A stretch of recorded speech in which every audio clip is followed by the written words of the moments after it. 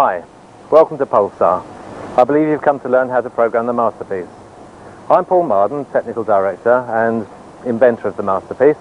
Andy Graves, our Project Support Manager, and I will be teaching you how to program it shortly. But first we thought you might like to have a walk around the factory, meet all the staff and see how masterpieces are made. Now, are you retail or are you trade? You're trade. Fine, then if you'd like to follow me into the tradesman's entrance.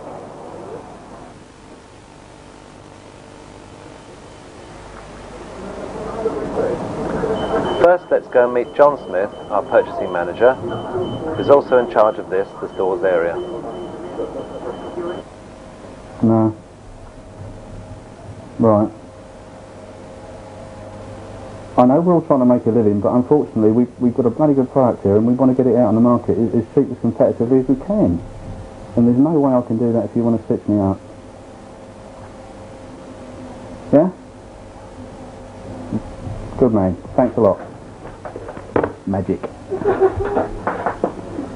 Good. Yeah. The stores area is looked after by Darren here on the forklift truck and Richard, who you can't meet today because he's got a day off to play golf. In the distance you can see the metalwork department. At the moment they're making a batch of masterpiece trays, which gives us an opportunity to watch the production process through.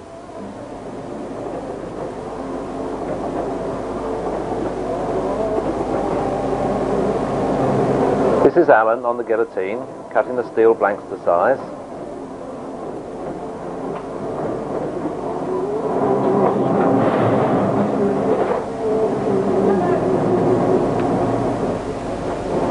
Next the blanks go onto our punching machine, operated here by Colin.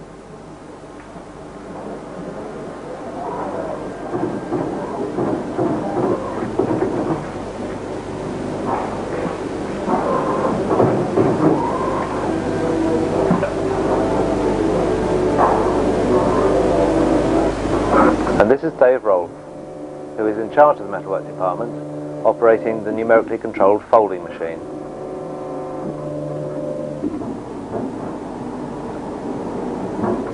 Peter here is welding up the corners.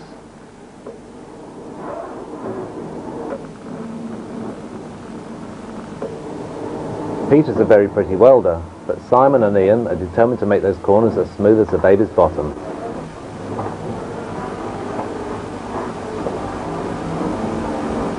This is Gary the stud, doing what he's good at.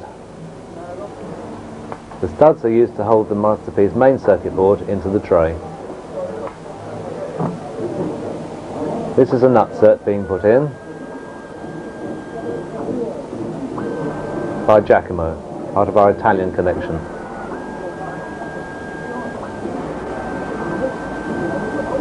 And now onto the paint shop, run by Brian and Derek. Derek here is putting a tray into the degreasing tank to remove any traces of oil and grease prior to painting. Brian is applying the undercoat, as is Derek in his spray booth.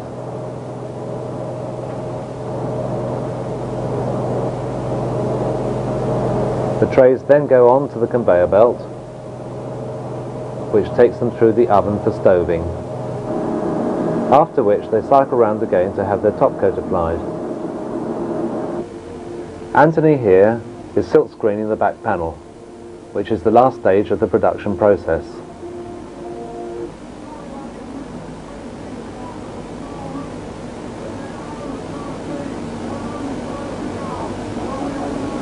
and then onto the drying conveyor.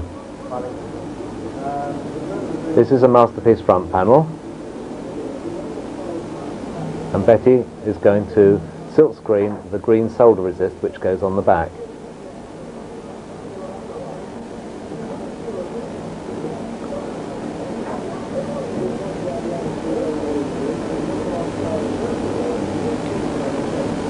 The same silk screening process is used for making our circuit boards.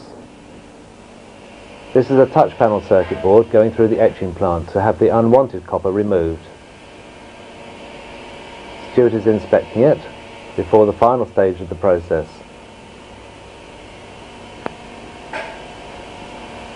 which removes the black ink to leave just the wanted tracks. David is working the numerically controlled drilling machine.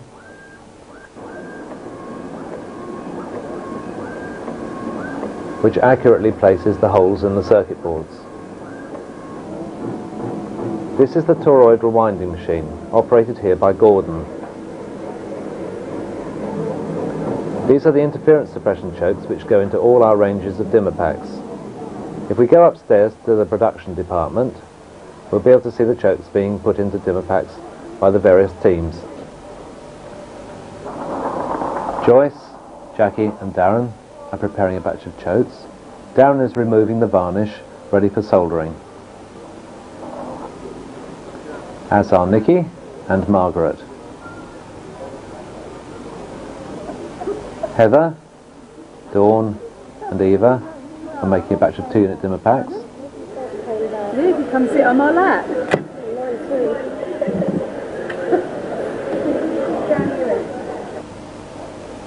Olive, Mandy and Ginny are working on a batch of four unit dimmer packs. I always admire their manual dexterity.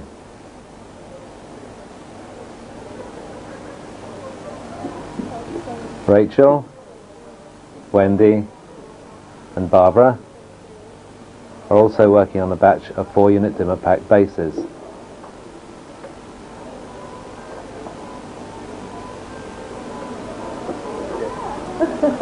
Maxine and Sandra are working on a batch of two unit dimmer packs.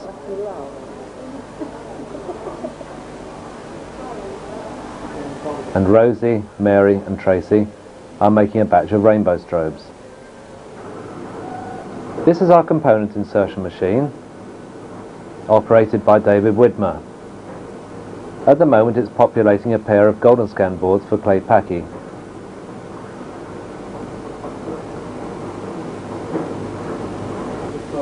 The machine takes the components it needs from the bandoliers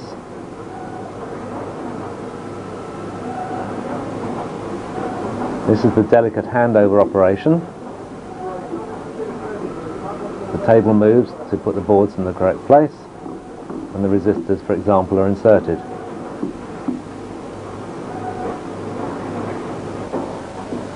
The largest components have to be put in by hand. This is Gwen.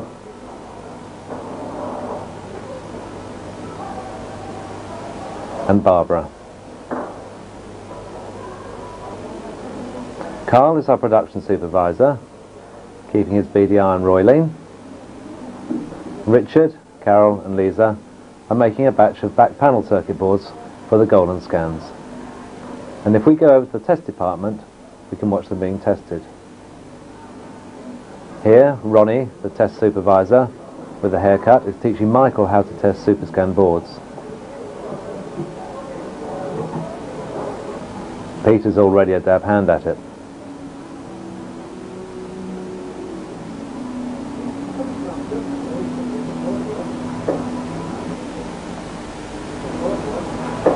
Phil is testing a golden scan board and Richard at the end is testing something while Guy at this end is testing a dimmer pack. Lee is putting a Masterpiece main circuit board onto the flow soldering machine. Firstly it passes over the flux wave, then through the oven to dry the flux and finally out over the solder wave.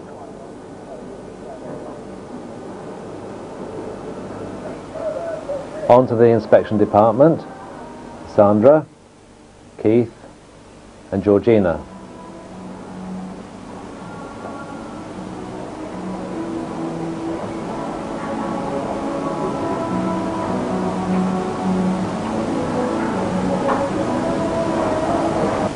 John Whitaker is our production manager and he's just checking the front panels of the masterpieces to make sure they're top quality before the girls start to assemble them.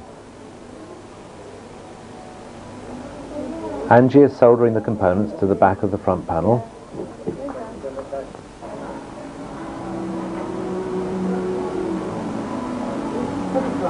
And Elaine and Joy are screwing the panels together and putting the sliders in. Peter from Test is coming up through a hole in the floor. And Joy is now putting in the LEDs.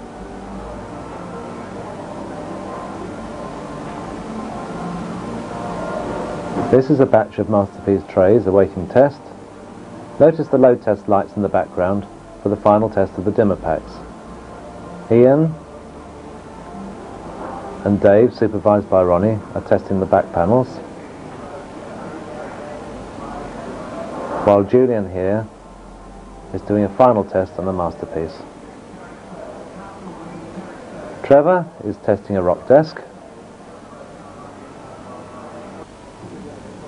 While Steve Ashmore is testing a universal interface and making a partisan statement. This is the Masterpiece screen driver, which is being tested by Dave Murphy.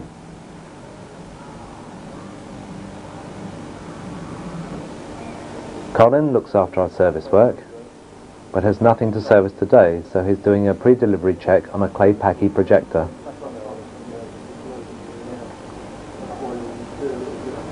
John helps Carl with production supervision and is here helping out with some packing. Big Carol, the secretary, and Brian are helping out in the dispatch department while little Carol is away. Brian looks after the showroom and the construction of all our exhibition stands.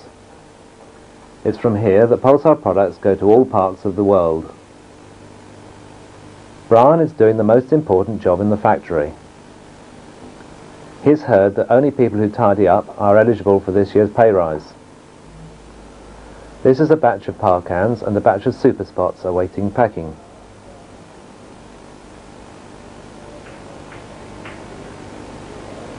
Carl, the production supervisor, is planning the work loading onto the teams.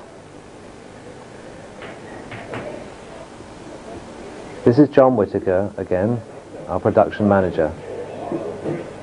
John's been with us for 20 years now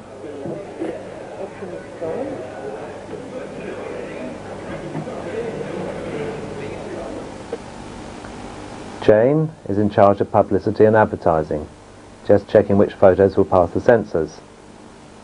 And this is the beader that was won for the Clay Paky Golden Scan.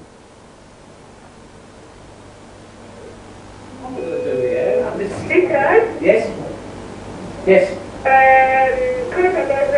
This is Richard Brown, the service manager, checking his features in the Golden Scan mirror and receiving the latest orders from Sabrina.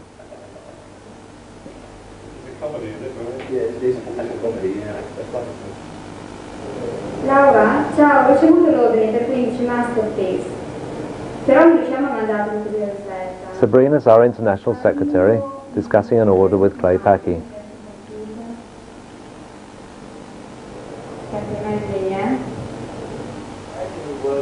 The most famous face in the industry, Mr. Pulsar. Derek Saunders, our sales and marketing director.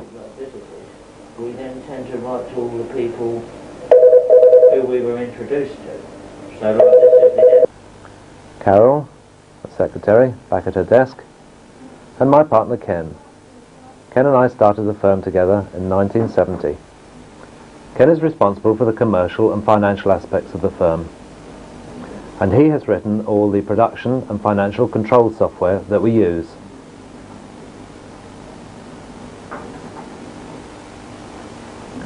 On to the design department.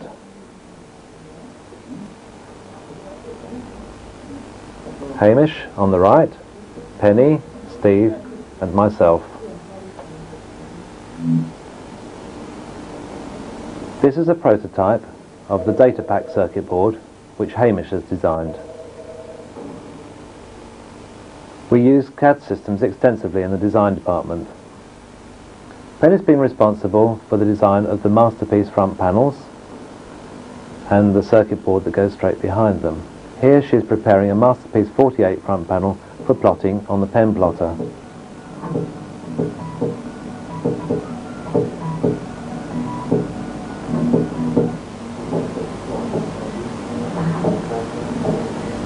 Steve and I discussing details of the Masterpiece screen driver. The Masterpiece screen driver has been Steve's project. And he's written all the software for it. Well, that concludes the tour of the factory. Let's go on to the showroom to meet Andy.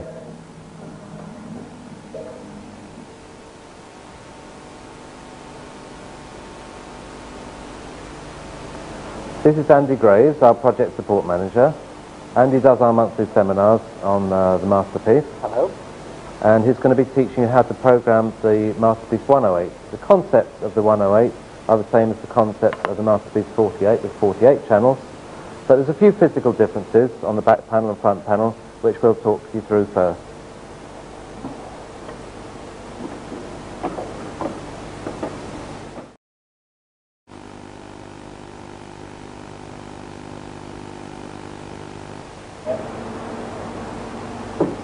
First of all, we need to get mains to Masterpiece. This is done using the mains input socket, the mains fuse, and the mains voltage selector. It's very important to select the voltage selector to the correct line voltage before you connect Masterpiece to the supply. The input voltages are 100 to 130 volts and 200 to 250 volts. On the Masterpiece 108, there is a power switch on the rear of the unit. Whereas on the Masterpiece 48, the power switch is on the front panel.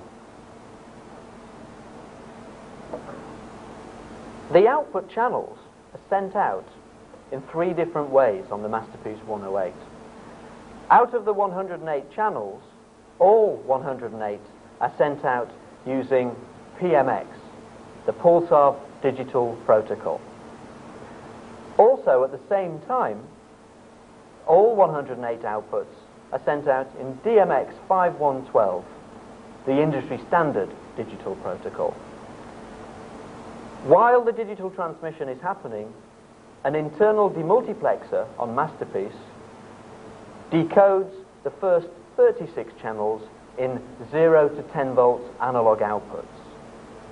The connectors are 8-pin DIN connectors.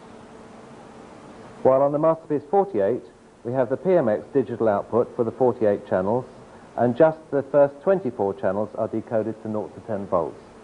We have no DMX output here. The DMX output is only on the Masterpiece 108.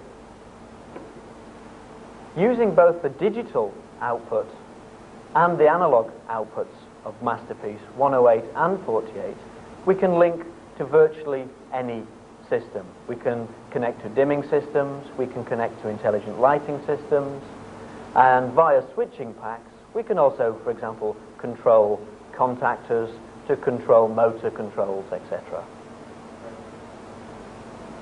If you need more than the 36 0 to 10 volt outputs, you can use the universal interface.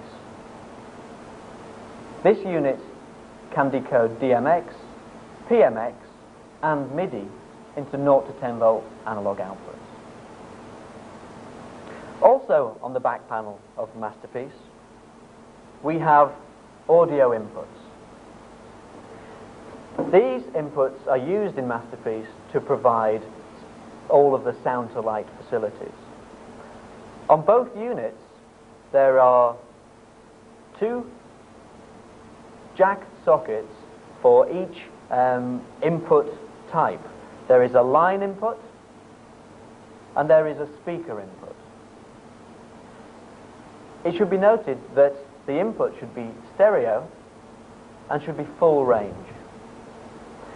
In instances where it is not possible to get a hard wired sound source, Masterpiece has a microphone socket, so you can plug a microphone directly into the unit. Also on Masterpiece, we have a remote control socket. This allows us to cue Masterpiece from the outside world. The full information on the remote control socket can be found in Appendix 4, and the full information on how to work with MIDI is in Appendix 3 of the Masterpiece Manual.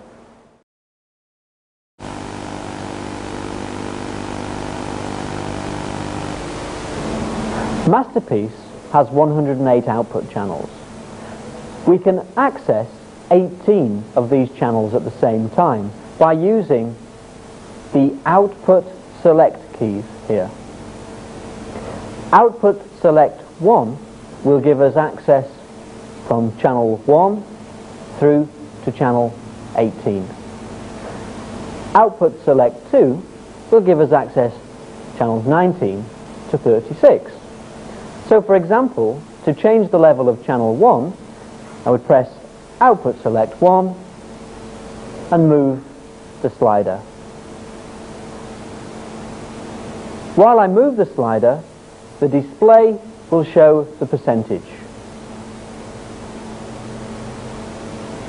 By using the 18 sliders, I can begin to create my scene.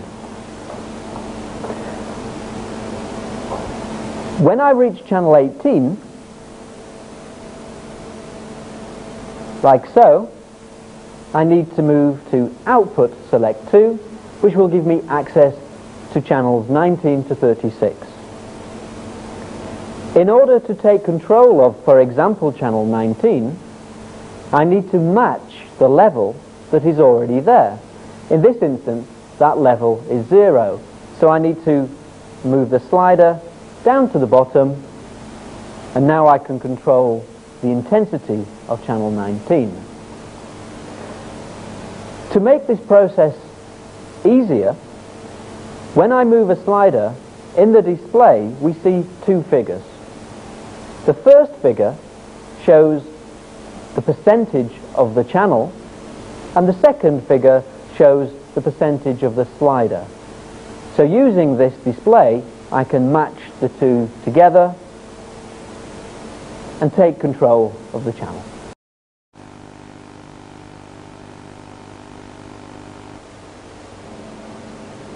Now that we have stored our first scene, we may decide to modify it. To modify any scene or memory, all we would do is go to the output select section, press output select, for example, output select 1, match the sliders, and make any modifications or changes that I require.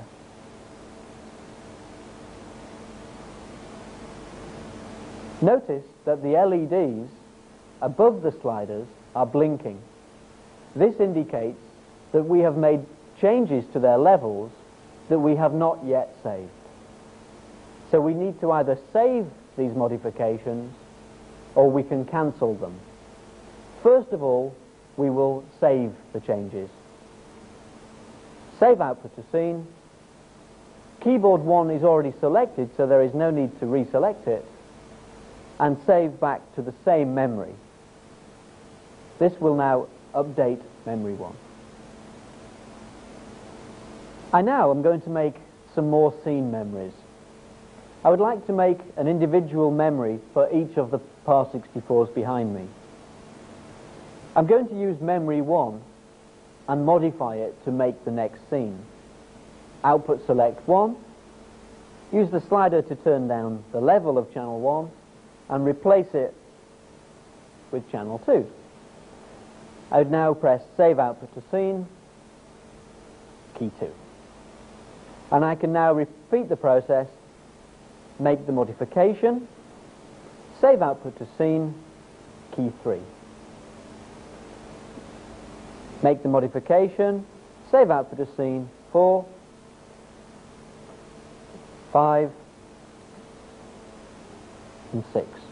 So now we have six scene memories. We can also, as you can see, turn on any quantity of these memories at the same time and use them to create other memories. So, for example, I can save output to scene to number 7. I will now have a memory which contains all channels.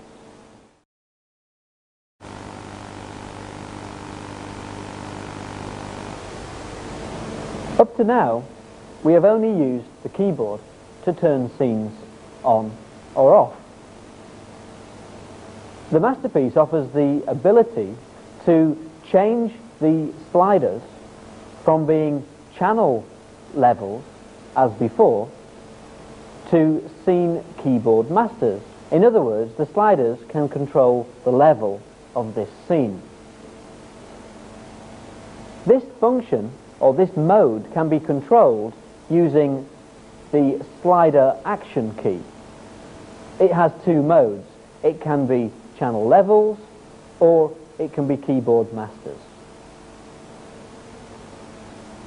When changing from output select to scene keyboard select, the slider action will automatically change. So, when I press S1, the mode will automatically be Scene Keyboard Masters. I can now use slider 7 to match the value of Scene 7, which was 100, 100%, and fade Scene 7 down to 0%.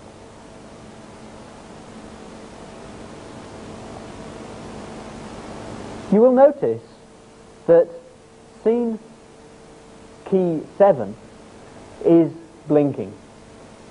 This blinking is rather similar to when we saw the output sliders blinking earlier. It means that there has been a manual change made to this slider that has, that has not yet been saved. So we need to either save the modification or we need to cancel the modification using the release key. So release, slider 7, and the, the scene will return to its previous value, 100%.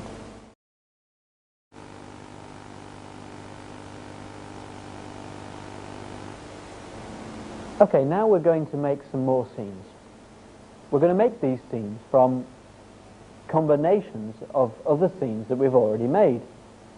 First of all, for example, I could take keys 2 and 6, which will give me both red par 64s, and I can save those to key 8.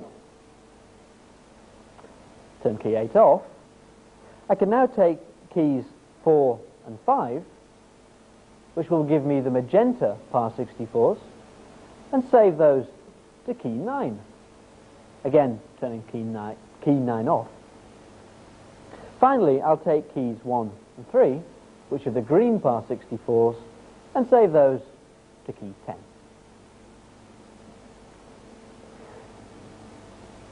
Because Masterpiece can hold many, many memories, at the rear of the Masterpiece manual there are record sheets. These record sheets allow you to name all of the scenes that you have made so you can lo- locate them at a later stage. Alternatively, the Masterpiece screen driver can be used to input and store your text information about your scene memories.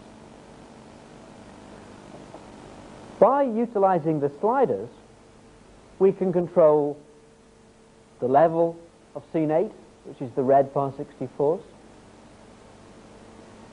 the level of scene 9, which is the magenta par 64s, and the level of scene 10, which is the green par 64s. So using these three scenes, we can uh, adjust the channels to make the, the required output, and we can save this to scene 11, for example. So this is how we can use many scenes to create more scenes.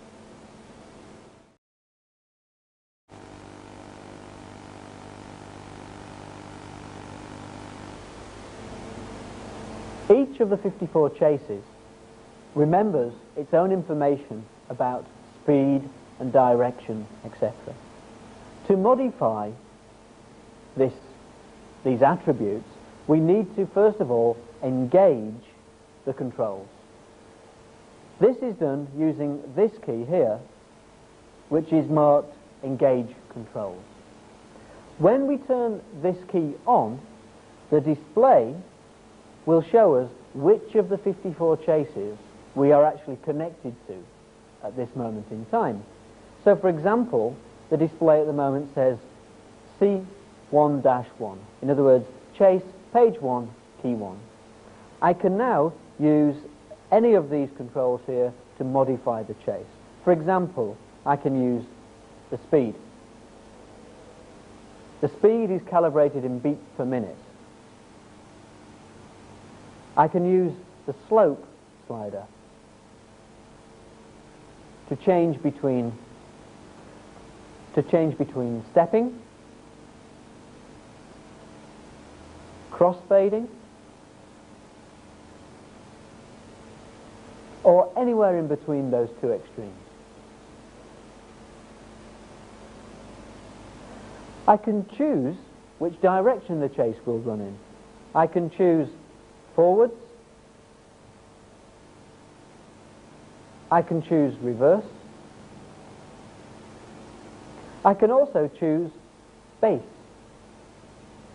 This mode allows the direction of the chase to change every time a, a bass input is heard by the machine.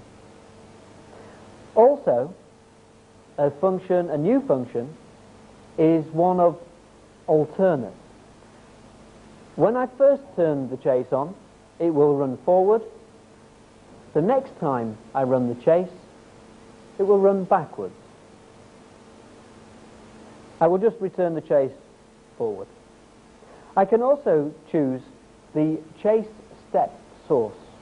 At the moment, it's been running in automatic mode, where the speed and slope controls take control. I can change this mode to be manual. In manual mode, I can use the forward and reverse manual step keys to step through the sequence. Like so. Forwards and backwards. When I'm in manual mode, the slope control becomes the time of crossfade in seconds. So I can select, for example, zero, so the crossfade is instantaneous, or I could select, for example, five seconds in the display. When I press forward, the crossfade will take five seconds.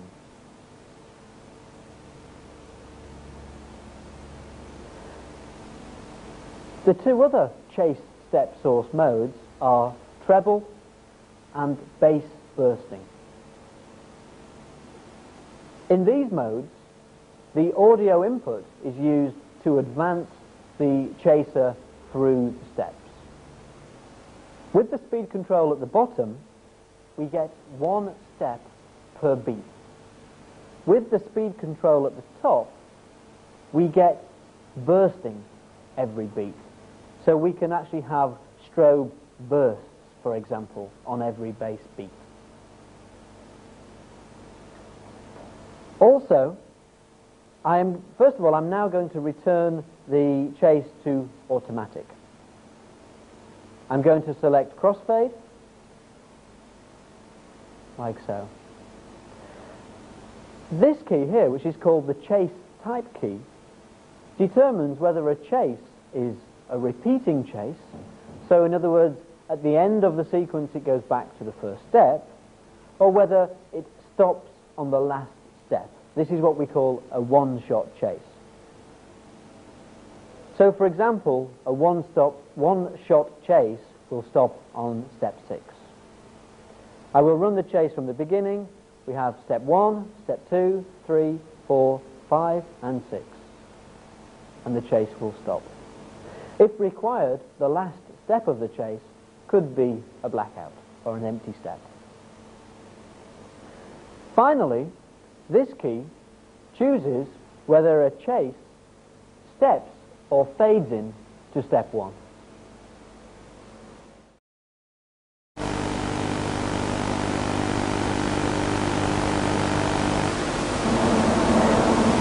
Masterpiece is very special in the fact that it can run any quantity of its 54 chases at the same time.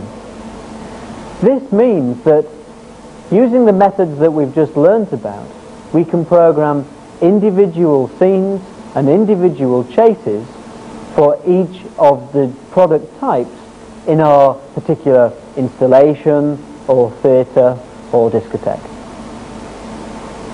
In order that I can demonstrate this, we need to create one or two more memories with different types of products. So first of all, I'm going to create some scenes with three golden scans. So first of all, I will select output select 3 to gain access to the first golden scan. I can control all of its functions on six sliders. I can select particular gobo, for example. I will now press output select 4 and move on to the next golden scan.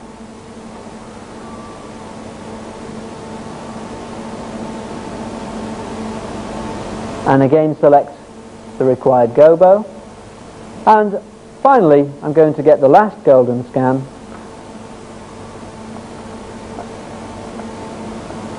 and again select particular gobo for the unit, like so. Now I'm happy with this position. I can press Save Output to Scene, select a particular keyboard. Now my golden scan um, memories I'm going to store on keyboard 2. I'm going to make sure the keyboard is in latch and swap, and I'm going to press key 1. So this is scene, keyboard 2, key 1. To modify this, I will press output select, move to the sliders that I wish to edit, move to the next projector,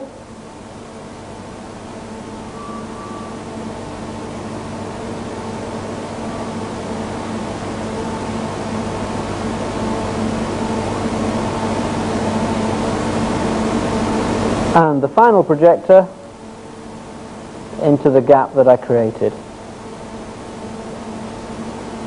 Now I can save output to scene to key 2. And through the process one more time.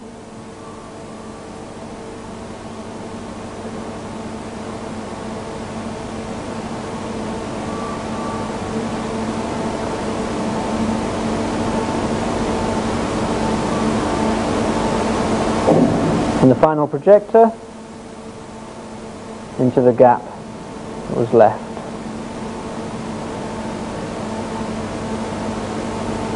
Save output to scene, key 3. So now I have three memories, one, two, and three. I now would like to create a chase of these scenes. First of all, I will turn the memories off. I will then press Program Chase Sequence. We will decide to keep the golden scan chases on chase keyboard 2. So I will press program chase sequence, chase page 2, chase 1. I will now enter the steps. Step 1, step 2, step 3. I can view through them using the forward manual step key. And when I'm happy, turn the programming chase key off. To run the chase, I will go to the keyboard, keyboard 2, make sure it's on latch, and edit the speed parameters so I have the desired effect. So this is another one of the chases that we can have in our library. Now going to create a few more scenes and another chase for some strobes. Again using the output sliders, I will go to output select 6 where my strobes are located.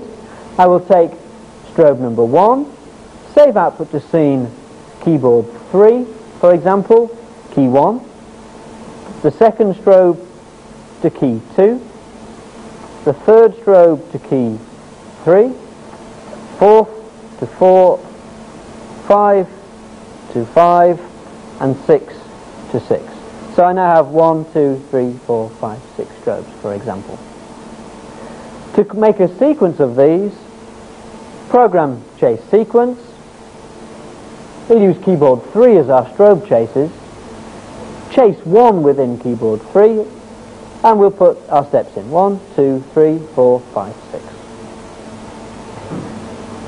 Before we run the chase, we need to check that the speed controls are suitable. So to do this, we would engage the controls.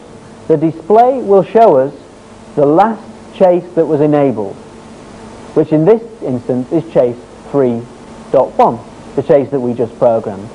So I can now ensure that the slope for, is on step, which is very important for strobes, and I can check that I have a suitable speed.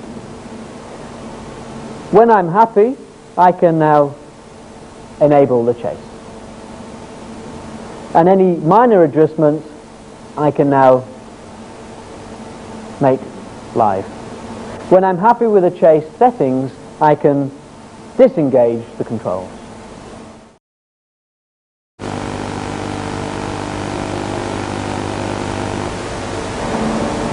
If we wish to modify this environment, we can add more chases, we can add more scenes, for example.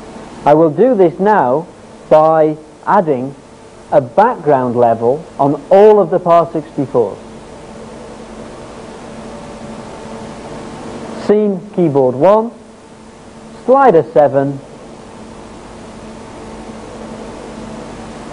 I've now added 24.2% background level on the PAR 64s.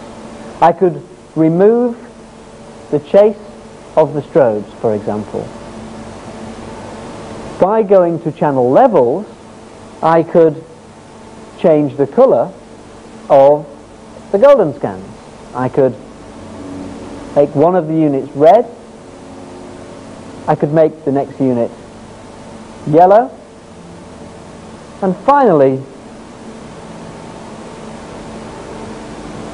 purple. So now I have now I can store this environment with the combination of channels, scenes, and chases. Save environment to key 2. So now I have two versions of my environment. I have the first version and the second version. You may have noticed that when I switched on environment 2, the golden scans slowly faded in from their home positions. We can stop this from happening by changing its chase controls so it doesn't fade in on step 1, it steps in on step 1. To do this, I need to engage the controls. In the display, I need to check which chase I'm connected to. Well, at the moment, it's chase 3.1. That's the strobe chase. We don't want to change that. So to select the golden scan chase, I would go to chase keyboard 2. I would make sure that the keyboard action is in flash. So when I press key 1 to tell the chase controls which chase I want to edit, that chase is not actually switched on. Now I can edit the chase and all I need to do is turn off this key. This time when I switch the environment on the golden scans will instantly go to their first position.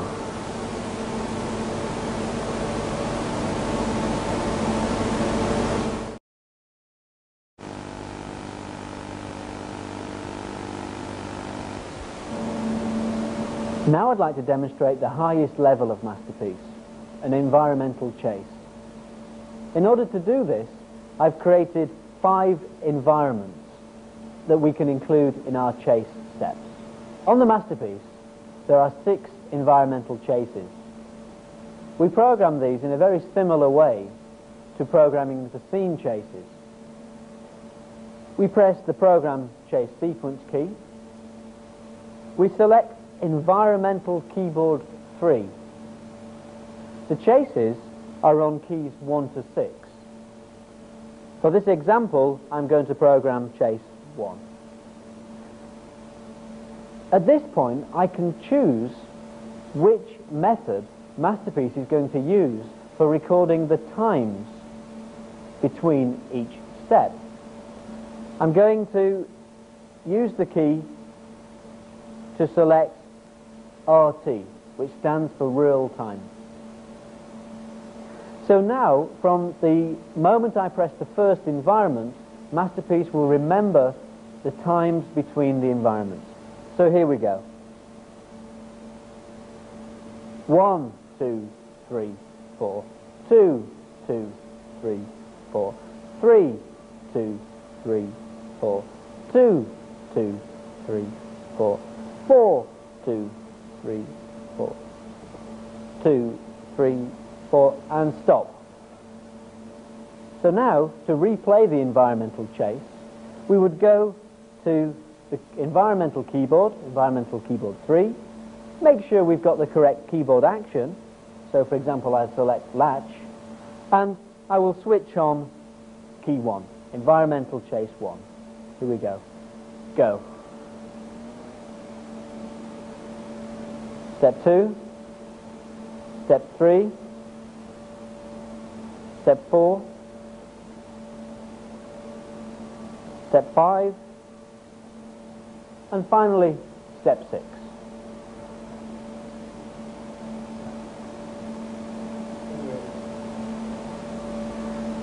With the environmental chase, I can select many of the functions that we saw earlier with the scene chases. For example, I can choose whether the environmental chase is going to loop, i.e. it's going to repeat, or we can choose whether the environmental chase is going to be a one-shot. It's going to run to the end and then stop on the last step.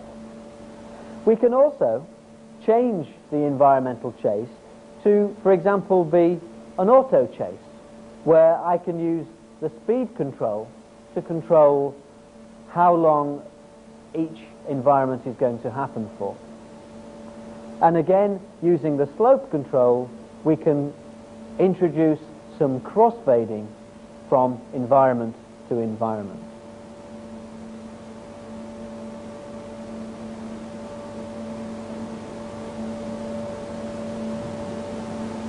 Finally, using the times that we entered in the re record environmental chase in real time, we can actually edit those times. To do that, we press Program Chase Sequence, we select the keyboard and select the chase, environmental chase 1.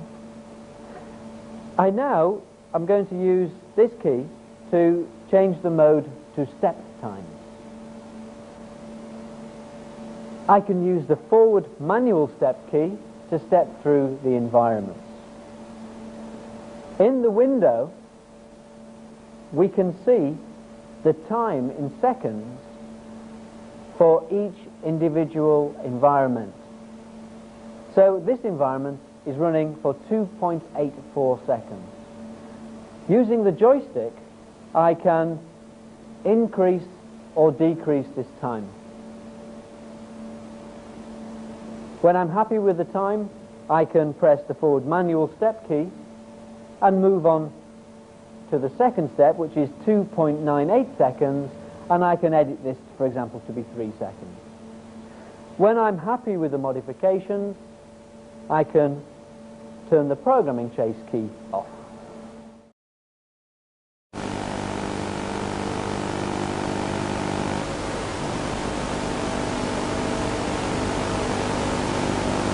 We're going to take you back into the lab, in inverted commas, to show you some of the sound to light features of the Masterpiece, which I'm going to show to you on the Masterpiece 48, so that you can become familiar with the layout of the pads on this unit. To make a sound to light scene, we proceed in the same way as an ordinary scene, except on the Masterpiece 48 we store it on keyboard S8, or on the Masterpiece 108 we store it on keyboard S12. So, I'll um, put on some yellow light, and that which will become the bass. And we'll store that back using save output to scene, scene keyboard 8, number 1. Now we'll put on the lights for the tenor, and notice that I'm having to switch on channel 9 as well, because I'm using um, a Pulsar 4x4 matrix pack, which has got a standby input. So that needs to be activated in each of these scenes. Channel 9, alto, channel 9, save output the scene, treble. Notice that along the top of the keyboard keys here are printed bass 1, tenor 1, alto 1 and treble 1. That is one zone of sound to light. Here is the second zone of sound to light, bass 2, tenor 2, alto 2, treble 2, which performs the same way as zone 1 does. They modulate the sound to light levels between nothing and 100%. In fact, the modulator, pulsar modulator circuits are incorporated inside both masterpieces. Zone 3 here uh, is a switching zone, which is particularly useful for slow things like PAR cans or the stoppers on golden scans, for example, to make those respond faster um, to, the, to the beat of the music or to form more dramatic effects. Now, if we switch the keyboard here, the keyboard action keys for the Masterpiece 48 are here. Put those onto latch, switch these on here, and give it some music.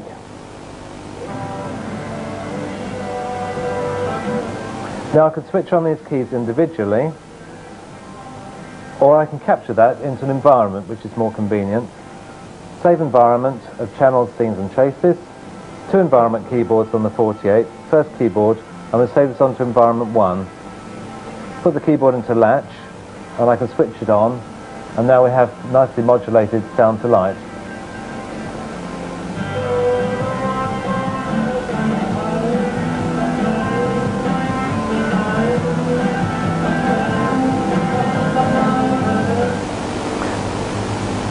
Now I'm going to program the switching zone, zone 3. Once again, channel 9 for the standby on the pack, channel 1 to put on the yellow lights, save output to scene, keeping my finger on the key, save that one. Now, because I've kept my finger on the uh, save output to scene pad, the sliders haven't been released, so I can actually put this one down and bring up number 2, say tenor, save alto, say treble, and all that time, channel 9 has stayed on, so it's a bit faster.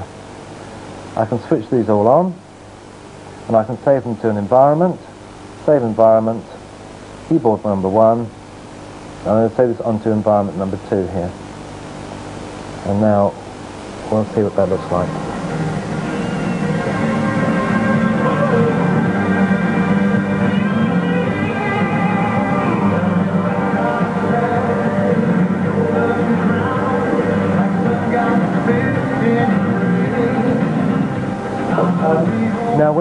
Sound to light scene, you can include any channels you like at any levels you like in that scene.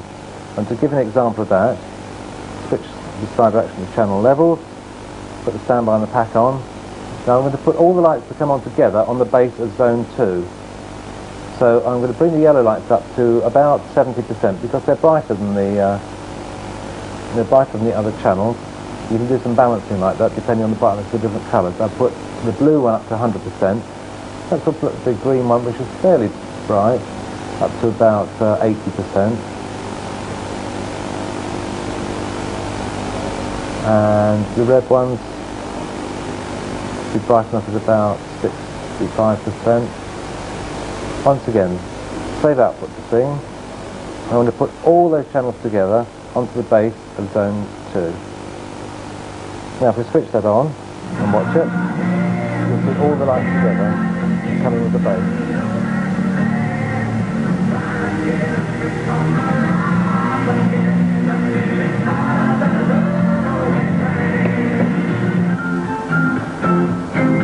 Now I'd like to show you some of the effects that can be achieved using the chase section with a music input.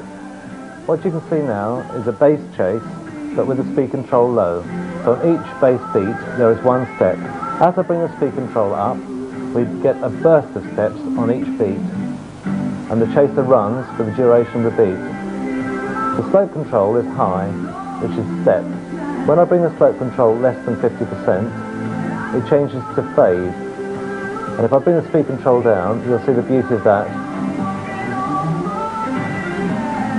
The chaser no longer has to go from a complete scene to a complete scene, but can gently fade between them and freeze the motion between the beats.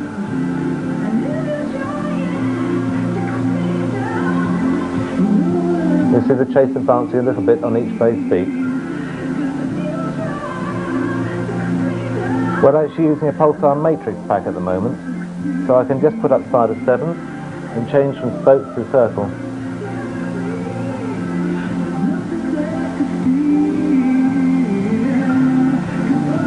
Taking the speed up a little bit.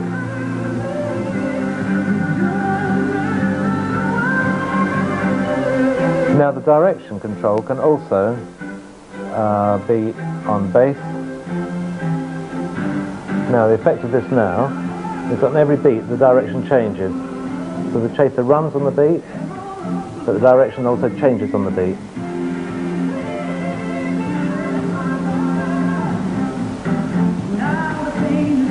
Putting the slope control back up the step, you'll see that the lights are either completely off or on at the end of the step.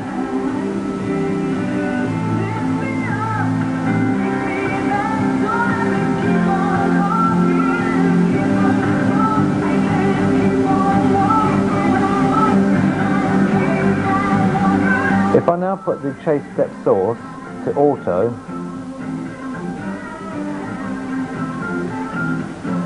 the chaser keeps running the whole time but just changes direction on every beat. Or changing back to the spoke.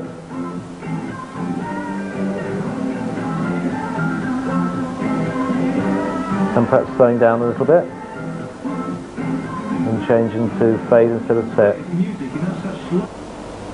Another facility we'd like to show you on the Masterpiece is the ability to view the level of any slider so we can see the level of any channel or the level of any scene or chase or environment.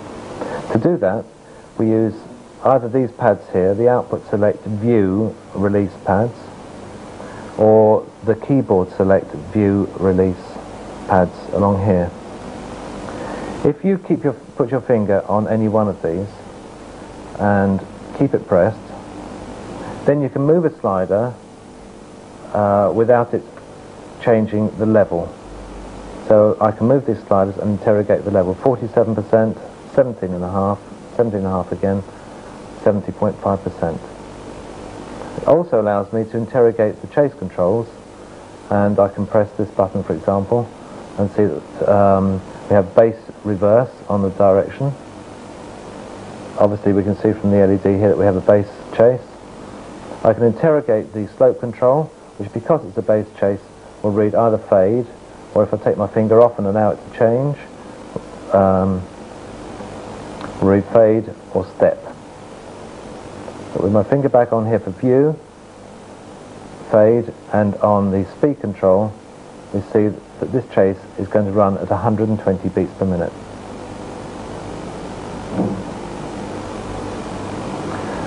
This masterpiece is actually connected up to a masterpiece screen driver. One of the things that that allows us to do is to have an online manual, an online help system.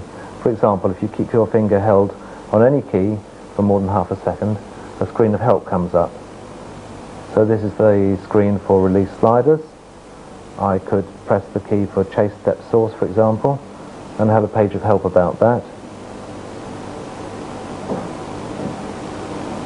Another facility that the screen driver gives you is the bar graph showing the channel levels along the bottom of the screen here. And the third facility that the Masterpiece screen driver gives you is the ability to write on the screen all your channel and scene and chase and environment information rather than writing it on the program sheets that we provide with the manual.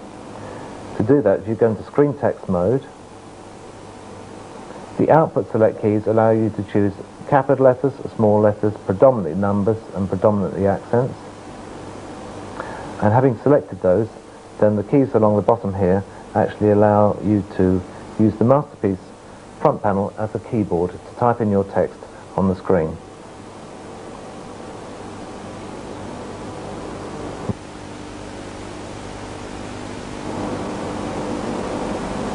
Okay, so that's Sound to Light, Sound Chases and the Masterpiece screen driver. And now we'll go back to Andy in the showroom, who's been preparing some Golden Scan environments.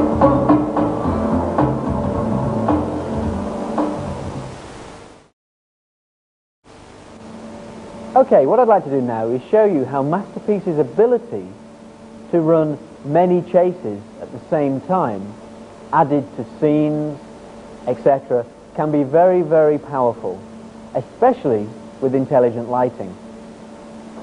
For example, instead of having to program each function of each of the eight golden scans that I have above me individually, I can group their functions together. So very, very quickly, I can open the shutters, move all of the pan parameters, and open, open all of the irises. Okay? And in the same way, if I would wish to add a gobo to this, I can do this very, very easily. So this really is just using scenes to enable me to, create other memories um, much easier.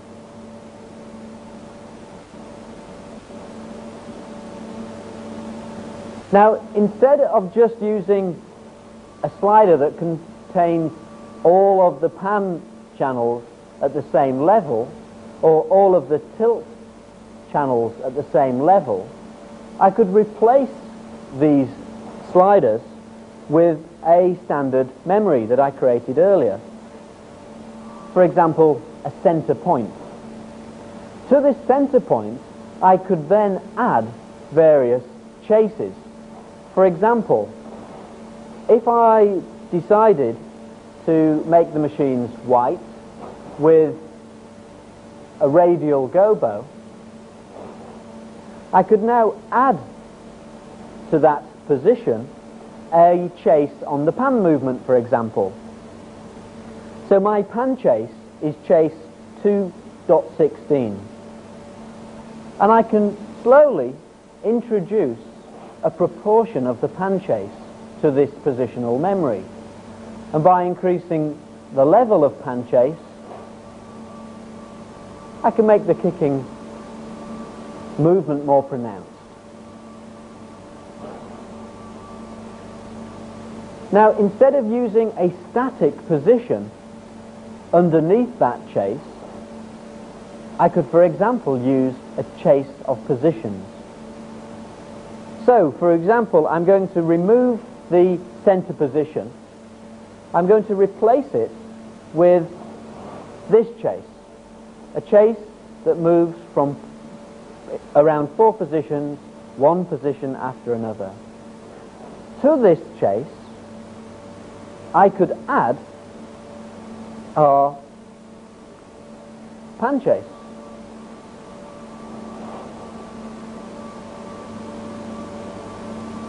Like so. Now, if I wish to add, for example, um, a gobo movement, that is also possible. I can select, using the scene, the base gobo. So, for example, this one. And to this, I can add a gobo chase. My gobo chase is chase 2.12.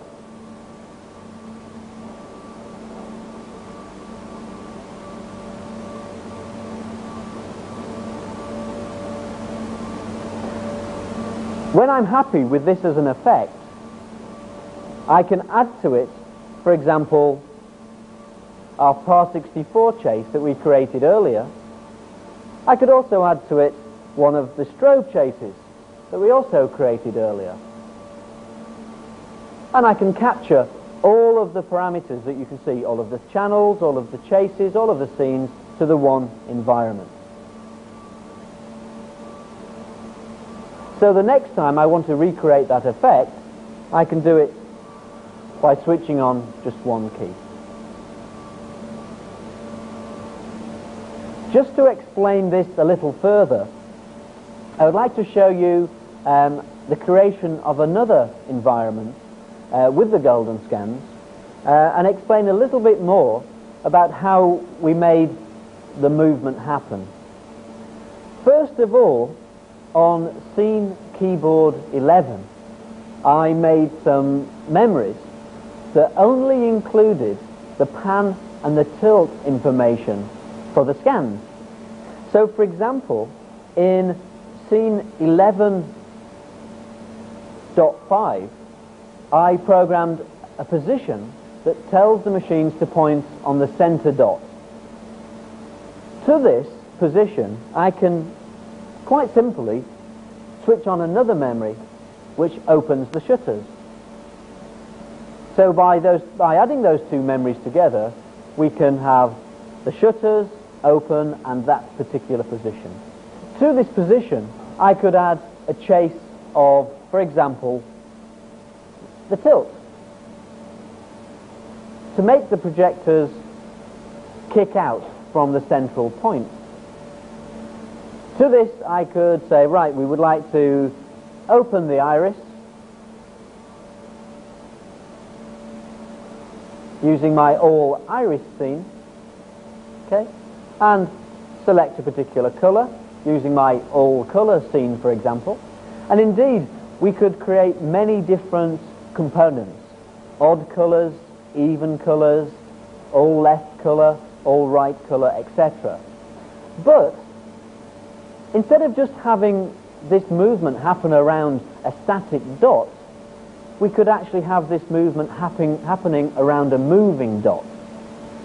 So to do this, I'm going to remove my static position and replace it with a chase.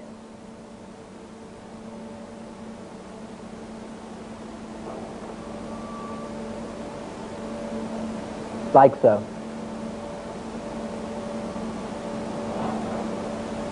So in the background, we have this position chasing. And to this, we are adding our tilt kick. And as you can see, we can create a very interesting and dynamic effect that would be very, very difficult to create by programming individual positions. And indeed, if we now wanted to say, for example, open the irises further and select a particular color or a particular combination of colors, we can do this while the movement is happening. Again, we can, when we're happy with this position, add any other chases or scenes to the system. So, for example, I could include um, some background level on the red par 64s to make the correct picture. I could include also the magenta par 64s. When I'm happy with this, save environment to key 7.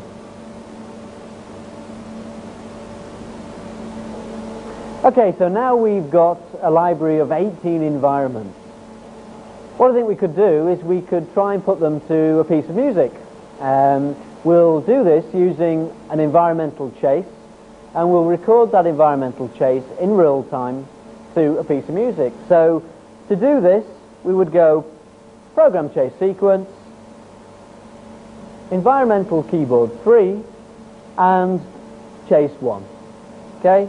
I'm just going to check that we're in real time. And now we would press our first lighting cue at the same instant that we've pressed play on the musical player.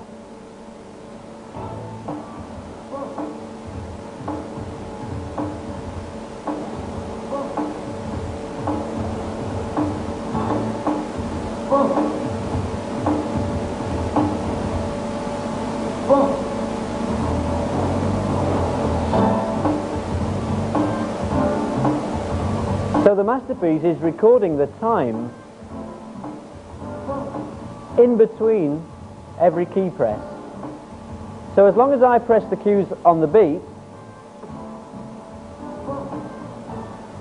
later when we run the chase back, the light show should happen in real time.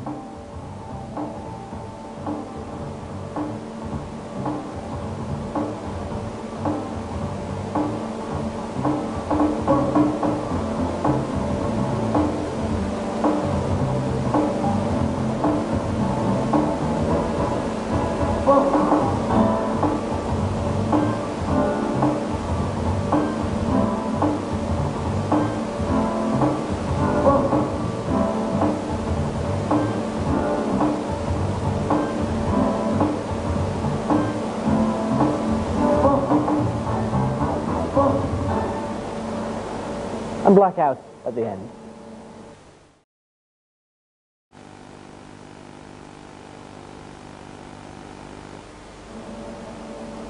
Now that we've done all that hard work in preparing all of those environments for the nightclub, for example, we want to have a method for making sure that people cannot destroy or change our environments, our scenes, and our chases. We can do that using this key, he, this key here. This is the set user access levels key. What it allows us to do is to enable or disable any of the pads or sliders on the front panel of Masterpiece. The process is very simple. First of all, we make sure that all of the keyboards are in the correct keyboard action that we want them to, to stay in. We would use the set user access level keys and then we would enter the code. And you will see that all of the LEDs light up. We can now, by bringing the sliders below 50%, disable them, like so. In the display here, it will say on or off to tell you the function that you've selected. I can disable slide, uh, pads in the same way by pressing them and they will go off. We will leave the output selects available so that the operator can see uh, what is happening on the 108 channels. We can disable the chase controls.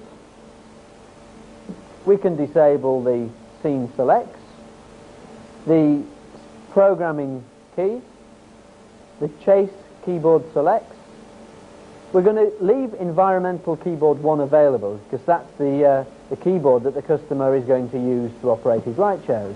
But we will disable number 2 and number 3. We'll disable the keyboard action keys, disable the freeze output key, and disable the Grandmaster. We'll um, also disable the ability to blackout.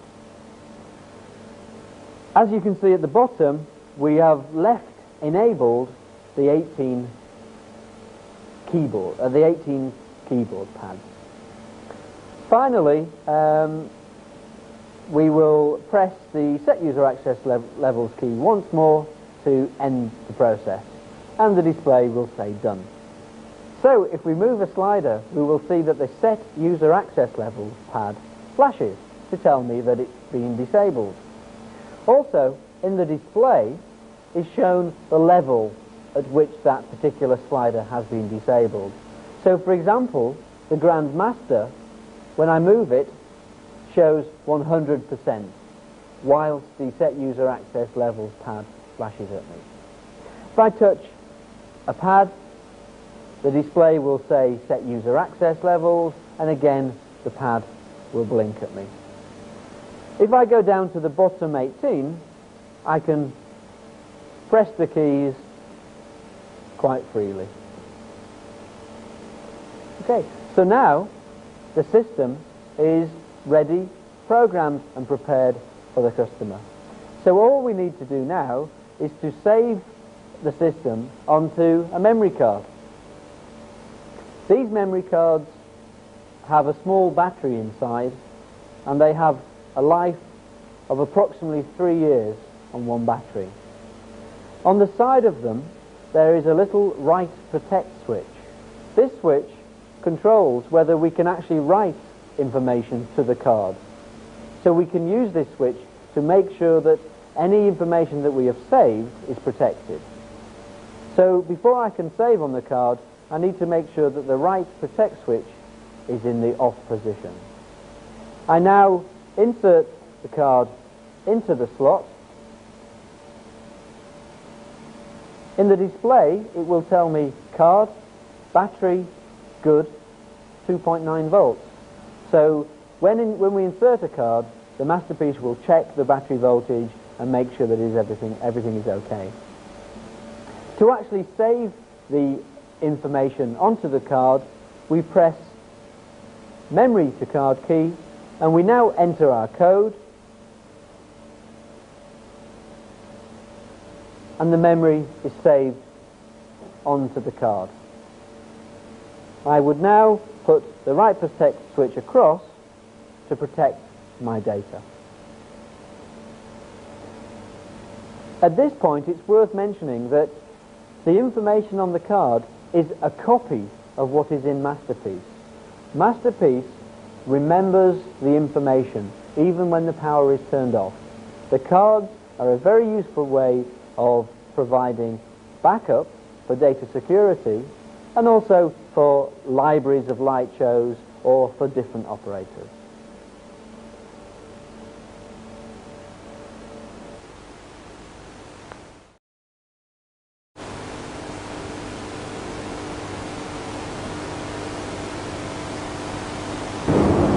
Hi, I'm Paul Marden, still, again. A couple of years have passed since the video that you've just watched was filmed, and now we're going to carry on with the new section, and we're here on location today at the Perse School for Girls in Cambridge. And with us we have Fina Mason, who's the head of drama, and Rachel Lewis, and Ian Speeton, who is audio-visual technician, and um, Lucy Bolton, here, who actually features in this photo on the video sleeve uh, and Lucy's just completed her A-levels in theatre studies, and we wish her well for her results in a couple of months' time. Also, we have Harriet and Zoe and Sankey here, who are um, lower six, also doing theatre studies, and we're going to talk about the latest software on the Masterpiece. The video that you've seen so far was based on the 1.8 software, and as you probably realise, when you switch on the Masterpiece, the display uh, initially shows the current version of the software. The latest version of the software is 2.0. So today we're going to go through all the improvements and features that were added in 1.9 and 2.0 software.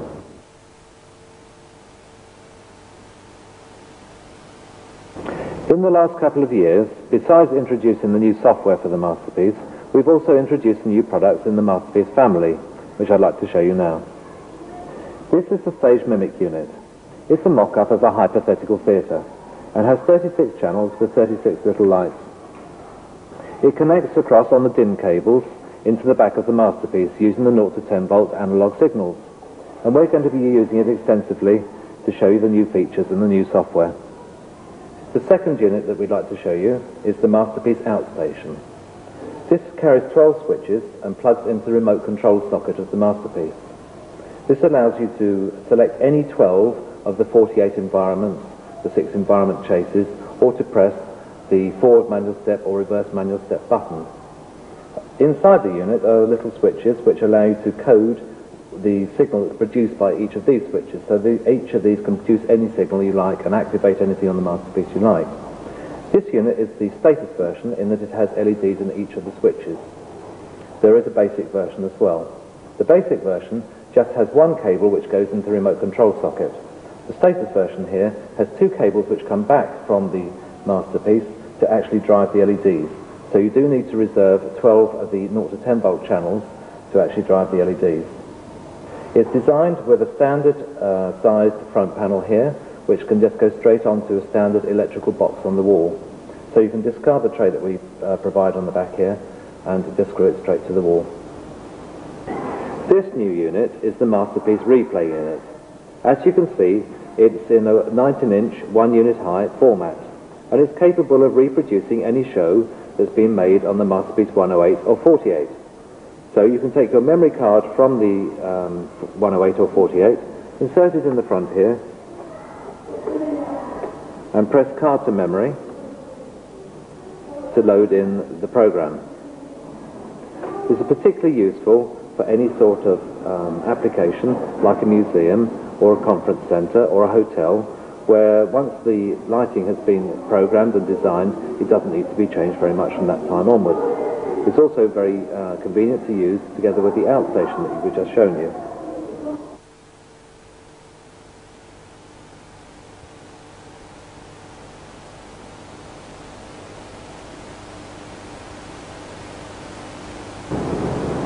Okay, let's discuss fade in and fade out times. It's printed on the front panel here in the AB master section, scene fade times. But we've been able to take the software beyond the original specification and actually give the scene chases fade in and fade out times as well. Now we're going to demonstrate how uh, you can take overriding global control of the fade in and fade out times on the sliders here whenever you want to. Lucy's actually prepared some scenes here, uh, 36 scenes on uh, scene keyboard 1 and scene keyboard 2, which activate all the 36 lamps on the stage mimic. And now uh, Lucy's already prepared uh, chase 1, uh, you need latch on there, that's it, chase 1, which is chasing around all 36 channels here. Now you can probably only just see that because the lamps are only on for a fraction of a second. But if you like to introduce some fade out time, Lucy, we'll see that the lights come on instantly and then gently fade out afterwards. And if you bring it up to about two and a half seconds, I should think, then we can see it's chasing its tail. So it comes round here and uh, just as it's about to fade out, tops it back up again. So all the scenes that are operating at the moment are actually have this two and a half second fade out time. Now that will also be working on the scene chase uh, that's running at the moment, C1-1. And if Lucy switches that off in a moment, if you watch carefully, you will see the chase continue to run, but just fade slowly out.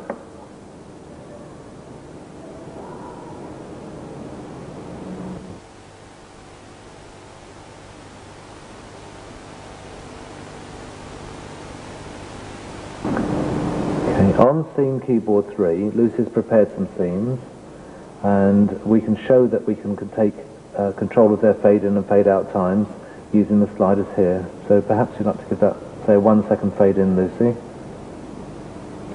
And say three seconds fade out. And if you'd like to demonstrate that by switching on some of those scenes, we're coming up with um, one second fade ins. And if you'd like to switch some off and some on, keep changing them. So we've got the scenes here, and they're all doing the same thing. They're fading out for three seconds and fading in with one second. Take a few more out. Yeah. Um, okay. So the fade in and fade out times of these scenes are controlled by the sliders here, and you can see that because the LEDs are blinking.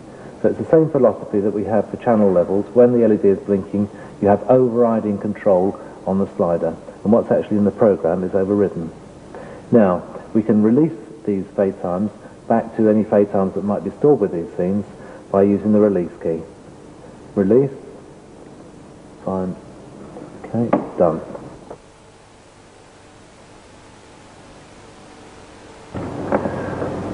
Okay, so let's see how we actually go about saving a fade in time and a fade out time with a scene. If you'd like to make a scene for us, Lucy.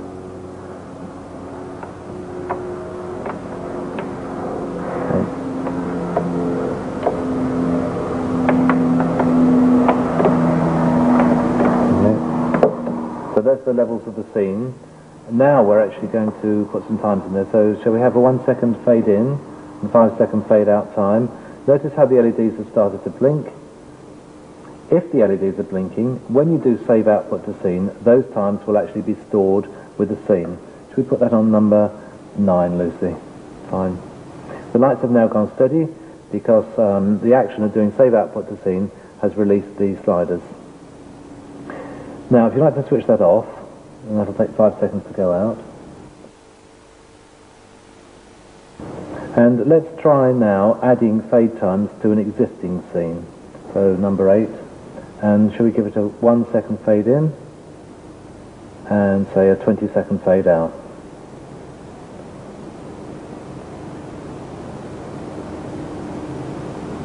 Lovely, and save it back to itself. The act of saving it back to itself has saved all its um, existing levels back to itself, plus the times that we've just given it. You've got a scene play time there of 20 seconds. Um, if in rehearsal that was too slow, can you easily change it? Yeah, that's perfectly simple to do. Just get the scene that you want to change the time on, and then engage the slider until the LED shows the time, and then you can simply change the time to whatever you need for that particular scene. And then just save it back to itself, as before. What about on the night? Is it possible to change a fade time in a live situation if it's still too slow? What I can do in a live situation is I just have to press the scene that I want to go out, and as it takes 30 seconds to go out, I just engage the slider up to the 30, and I can bring it down to whatever I want. For example, 10 seconds. It will take 10 seconds for that scene to go out then. So you can do that in a live situation, and you can modify it. You can make it longer or slower in a live situation, can't you?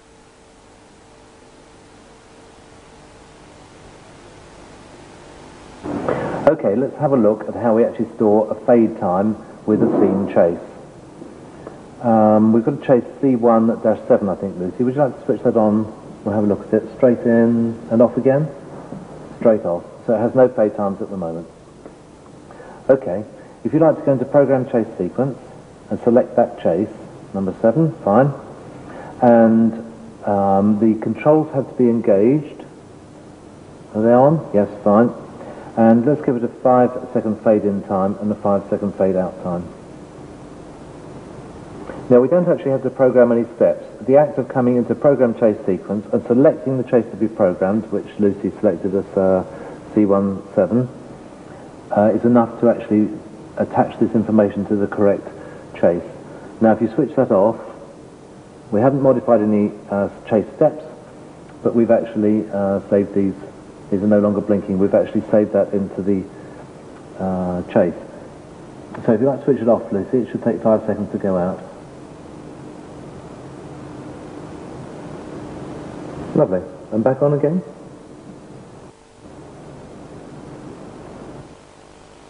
I can see the need uh, to fade a scene in and out, but why would I want to fade a chase in or out? Hmm, okay, Harriet. Let's imagine how that might be used.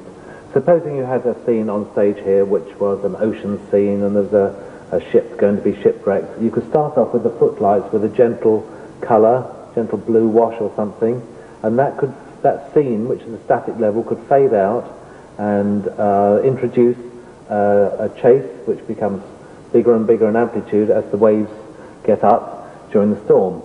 Or in, in another application, it could be for a neon sign, for example, Piccadilly Circus where you could have a static uh, neon sign and that fades out and produces a chase which runs across and then that could fade to another chase, uh, something like that. Or I know it can be used for scan use, for example. If you have a circle of six or eight scans, or with their beams onto a center point, which is a scene, that could be faded out and a chase could fade in to replace it where they're all actually rotating and coming out to the full width and then it could fade back to the scene again and come back in again.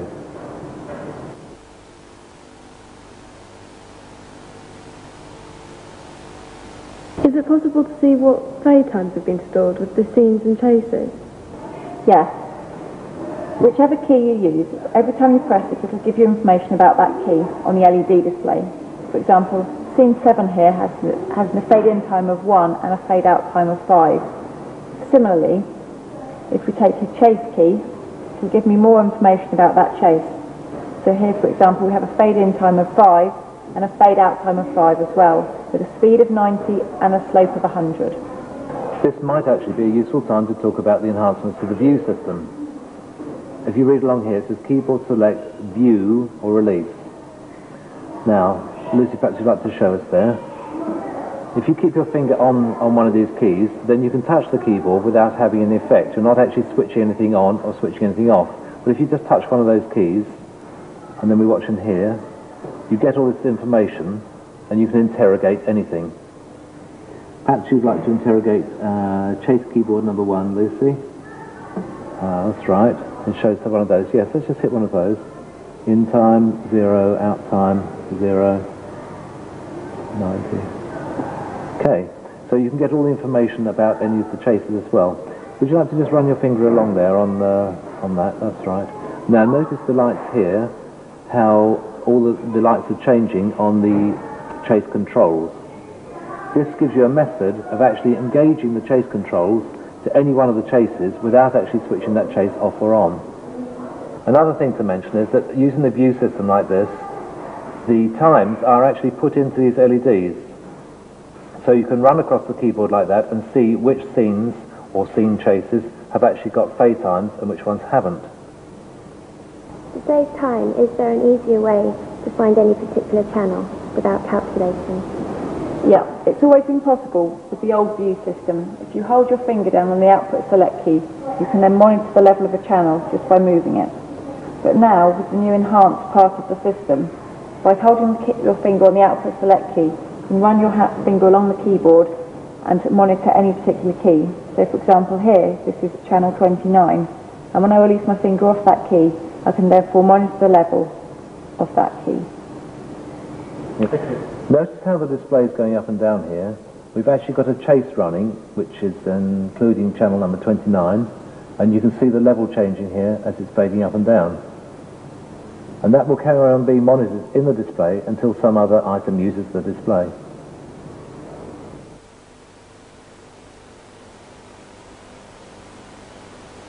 Now we'd like to tell you about some enhancements we've made to keyboard action. At the moment this keyboard is in swap or light keyboards. Would you like to show us that, Lucy? So we only have one scene on at a time. But the enhancements we've added are on this key here. Shall I press it again, Lucy? That this gives us this keyboard as opposed to global swapping and hit it again. And now we have a third possibility with both LEDs out. And in the display it says SP3, which stands for swap 3, because this gives us three little swapping keyboards on the keyboard of 18. So if you'd like to try that there. So we can swap within each of these three individually. Now this might be particularly useful for scan use, for example. Visible all at the same time, we could have a little keyboard here with six color settings, a keyboard here with six gobo settings, and a keyboard here with six frost or iris settings.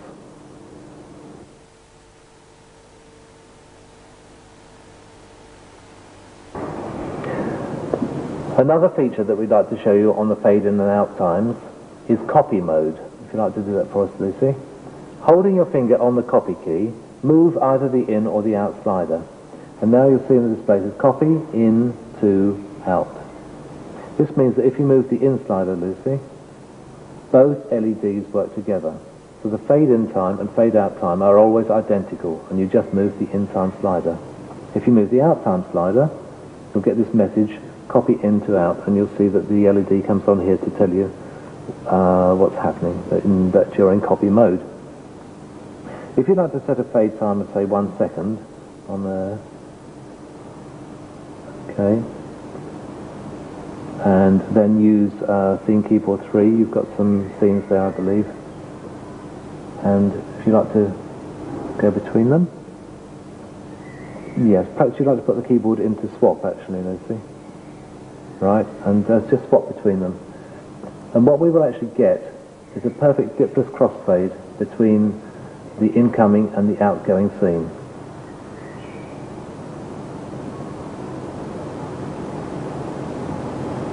Okay. To release this from copy mode, if you keep your finger on copy and just move one of these sliders again, now we're back to ordinary mode, and the two sliders work individually, if you'd just like to put something down. Okay. Right, could you put it back into copy mode, Lucy? We'll demonstrate the next feature. Now, the LEDs are blinking, so these times are going to take priority. Let's release the times back to those saved with the scenes. Can you do release on that, please? That's it. Fine. The LEDs aren't blinking any longer. Now, this is the feature which gives an awful lot of power to the desk. If you like to um, swap between these scenes here, right, scene one has a one second fade in time. What actually happens is that the fade in time of the scene that, that's coming in is actually used as the fade out time for the outgoing scene. So you can go from anywhere to anywhere and have a dipless crossfade. Scene uh, 3 has got a, a zero fade in time. So coming from, say, scene 5, if you'd like to go to that, that's got a 5 second fade in time. So number 2 fades out with 5 seconds. If we go from 5 to number 3, it'll fade out instantly because 3 has a fade in time of 0. Come back to 5, Lucy. Now, if we go uh, from 5 to 6, it'll take 10 seconds to fade out because number 6 has got a 10 second fade in time. So swapping from 5 to 6 will give 5 a 10 second fade out. So the fade out time depends on where it's going to. And it always uses the fade out time, for the fade out time, the fade in time of its destination scene.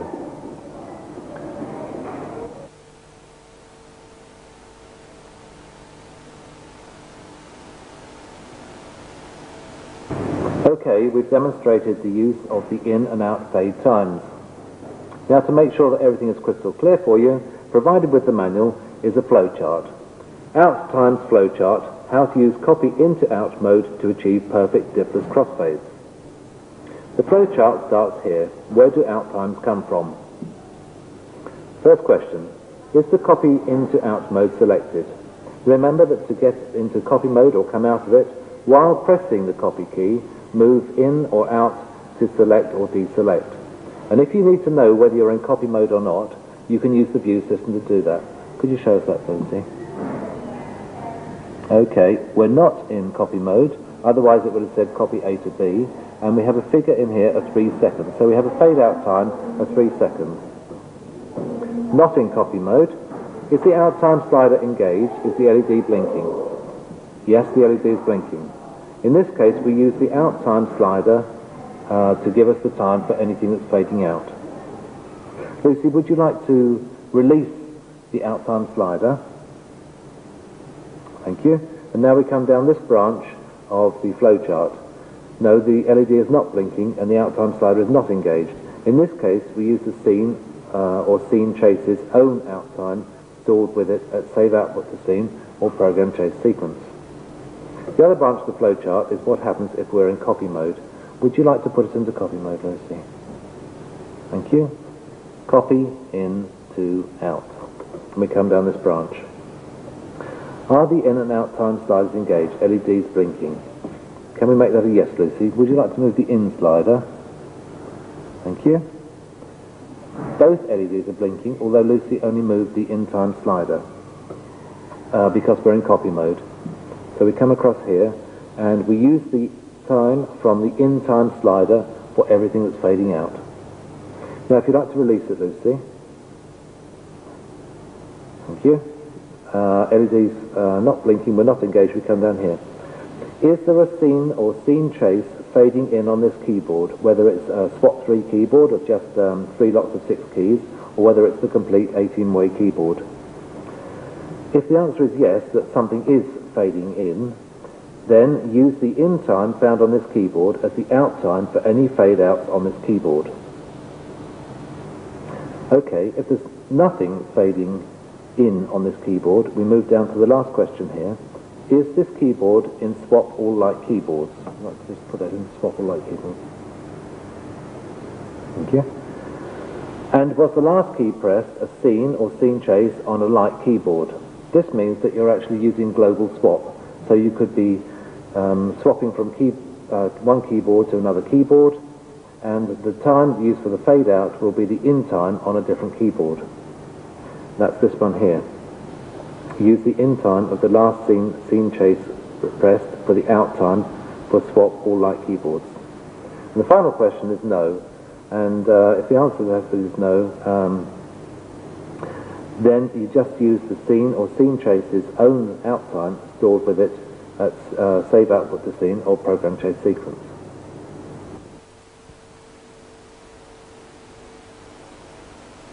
The other new part of the theatre software to look at are the A and B masters. Keyboard Action now has A-B crossfade mode working. This allows you to attach a scene to the A or the B master to fade it in or fade it out.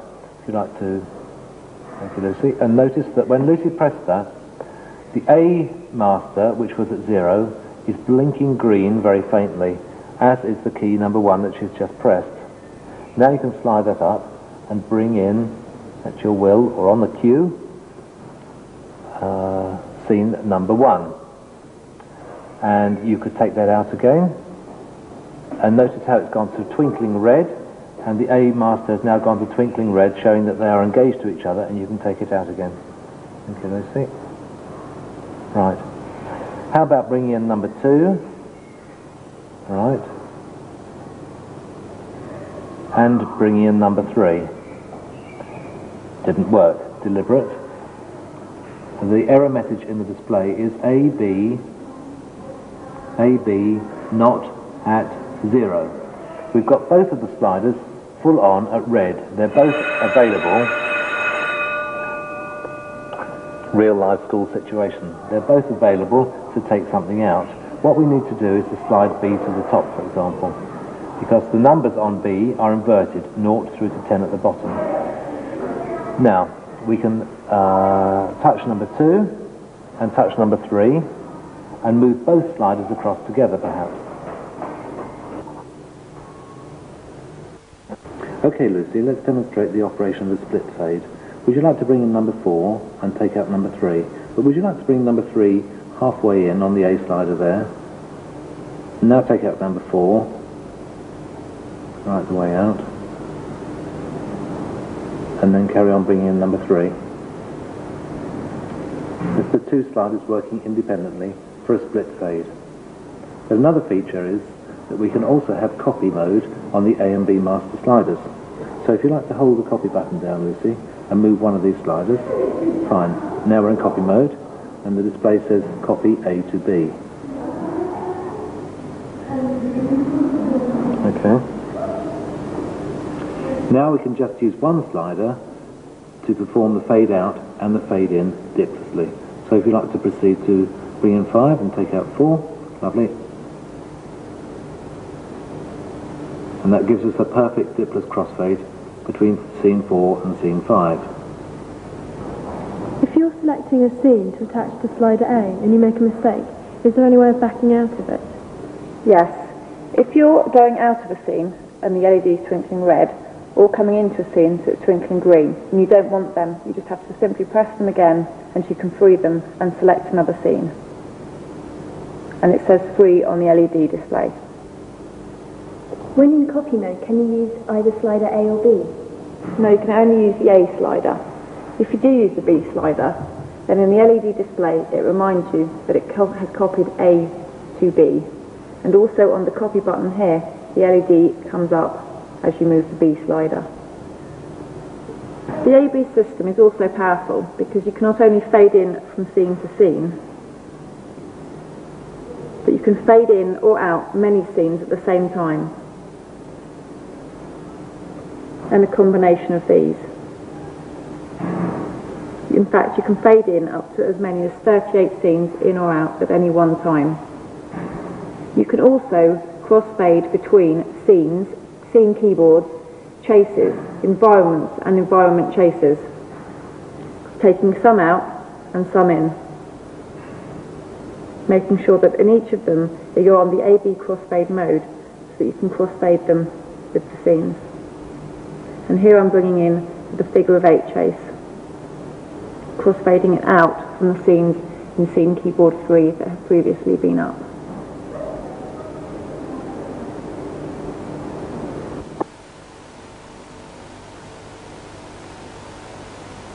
Okay, now we're going to show you how to program up the joystick.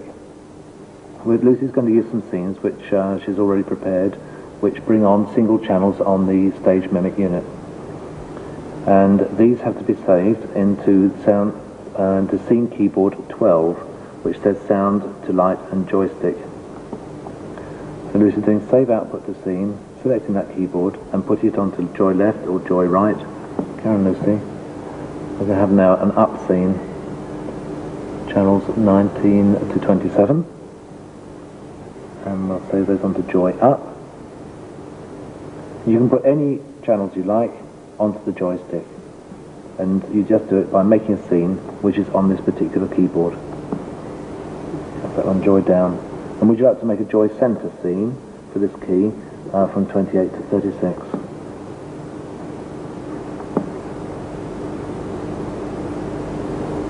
Fine. Save output to scene. Scene keyboard 12 and the center. Okay, if you'd like to put that into latch, Lucy, and switch on joy left and joy right. Okay, and then use the joystick to move between the left and the right scenes. Yep. Okay, let's um, check out the up and down scenes. We switch those off. Right, and use it vertically. Lovely. Now let's switch in the center scene and uh, fade up and down between that. You'll see that it actually changes from fading between the down scene and the center scene and the up scene. And if you switch on the left and right scenes as well, okay, and fade across for those. Yeah, fine. So at the moment we're operating the joystick in position mode, which means that if you take your let your hand come off the joystick, it will fly back to the middle, and what you can what you will see is the joy center scene. If the joy center scene is switched off, then you'll have a um, half brightness on all the uh, up and down and left and right scenes. The next thing to show you is actually using velocity mode. Okay, and if you'd like to move the joystick now, Lucy, but just move it a little bit, and when you move the, the joystick gently to the left, you're not controlling the brightness of the lights, you're controlling the speed at which they're moving from one scene to the other. And if you push the joystick to its extremes, it'll move very quickly. Of course, this is ideal for using with scan mirrors, where you can attach the pan and tilt to the joystick. But it could be used to, to uh, fade between any scenes, between any channels, whatever effect you think might be useful. So this last scene here, just to recap, is a velocity when the LED is on, and you hold the joystick a little bit to the left, and it will be fading from the right to the left scene.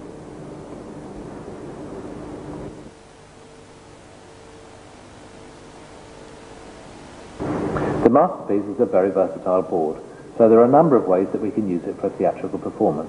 We're going to show you that some of those now, and then end up showing you the preferred method. The most simple way to use it is to put the board into channel levels and control the lights directly with the sliders.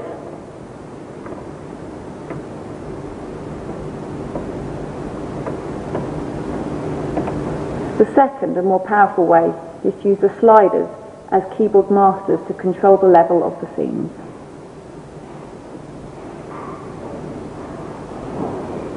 The Masterpiece, of course, has got 216 scenes, and you can control the level of all of those 216 scenes. They could all be on at the same time. So you could, in fact, say that the Masterpiece is a 216 preset deck. The third method we'd like to show you is making a chase or cue list. So if you'd like to make a chase, Lucy, number four for example, yeah, and put in all the scenes that we have for our play into the chase, and this is going to be a manual chase. Okay, that's the end. Uh, this is going to be a manual chase. We had it set up as manual, and we can use the forward manual step to actually step through the chase um, on the cue. Right, put onto latch. On the cue, you switch on the chase number four. Right, that brings up the first scene. Now, if you like to just move up the move the slope slider up and down, Lucy. You'll see in here we've got times going between nothing at the top and 360 seconds at the bottom. In a manual chase, the slope slider is actually the fade time in seconds. So if you put that on to about a second, that's lovely. Now, on the cue, Lucy, hit forward manual step, which will be scene two. You can change the fade time if you like now to the between scenes. Um, to have whatever you need, this will give you a dipless crossfade between the incoming and the outgoing scene. So you could put your scenes into a cue list in the right sequence and actually just use the forward manual step button on the cue to step through your complete performance. Another method is to use the keyboard in latch with prepared scenes and just set the in and out times.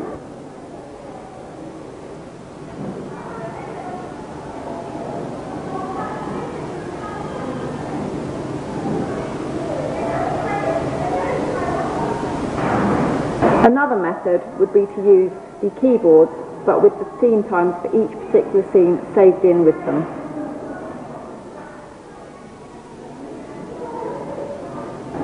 But the method we are going to use for our production Guys and Dolls is to create scenes with their own fade times and then on cue move from scene to scene by using the AB master sliders in copy mode.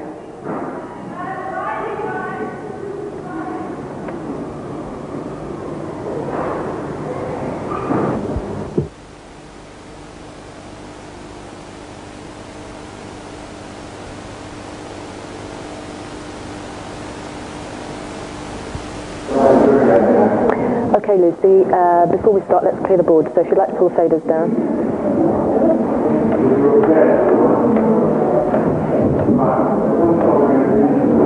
Right, we've got Grandmaster at 100%. We're probably going to use scene keyboards 1 and 2, and we'll put them now into the AB crossfade mode. Right. Uh, if we do all off, to clear the board, and then we'll lock away everything that we're not going to be using.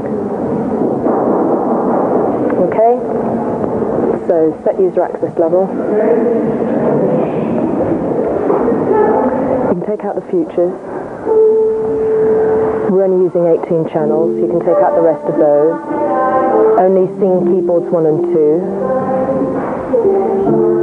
We probably won't need any environment or scene chases, so you can take those out.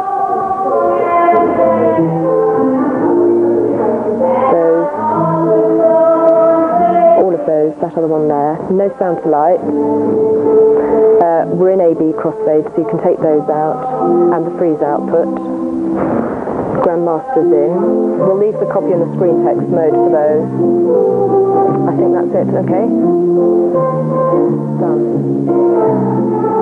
Don't forget the um, release slider. If you make any mistakes, if you just press the release slider and then either your output is clear what's in output or scene and it'll clear what's ever in the output channel.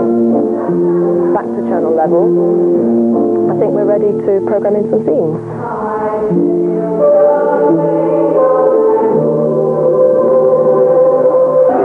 Right, okay, we're ready to program in, so we'll need to be on channel levels first.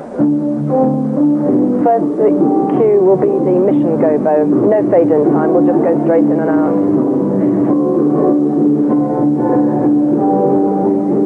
Okay, second scene is the telephone stage right, channel 12.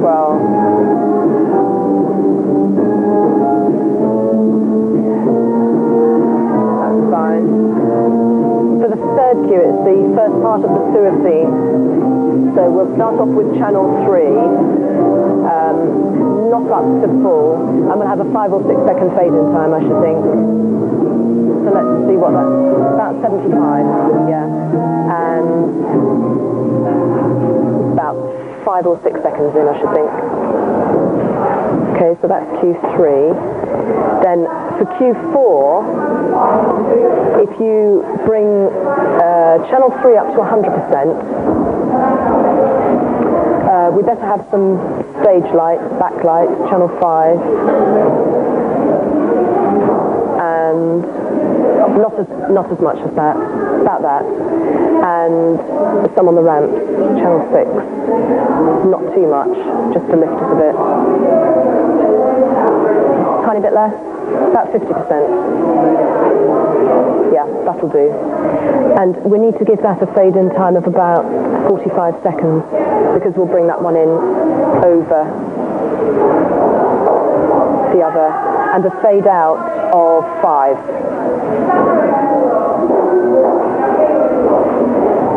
Okay? And then that will be brought up over the other, fine. Q5, for this scene, uh, we want the uh, channel 2 of the general stage watch. Yeah, the blue backdrop at channel 9. The ramp channel 6. That's fine. And a bit of backlight on the stage, number 5. That's fine. And we'll save that into Q5. Good. Actually, maybe we'll put some, we'll put a fade in and fade out time on that. So leave it as, as it is. Um, we'll have fade in as of five seconds each. And then just do fade it to itself. That's it. Good, okay. Right, let's just check some of the crossfades. Uh, if you bring up Q1,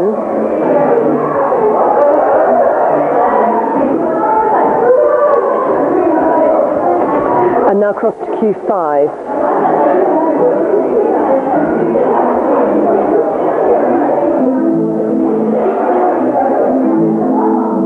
Right, and now to Q3. And then it should match the in and out time. Yeah, good.